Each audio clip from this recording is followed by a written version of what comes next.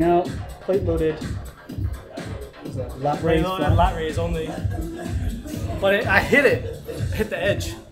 Oh, it uh, bottoms out or Yeah. tops out. Tops out. Feels good.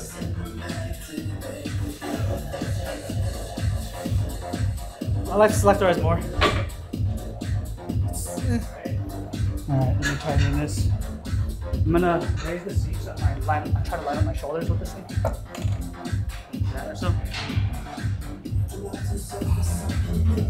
That feels weird. Yeah. It's it bottoms. Not only that, but the weight dropped off like crazy, like like nothing Yeah. right here. Like a regular lat raise. Yeah, So like, there's not much benefit using there's this machine here. Yeah. over a dumbbell lateral raise. Yeah, this one's not it. I'd rather just go grab a functional trainer and It do feels a like almost sticky or something like that too. A lot of stickiness in these machines. Like like like they need to oil it just like Yeah. that. Yeah, this piece is not it either. Pass.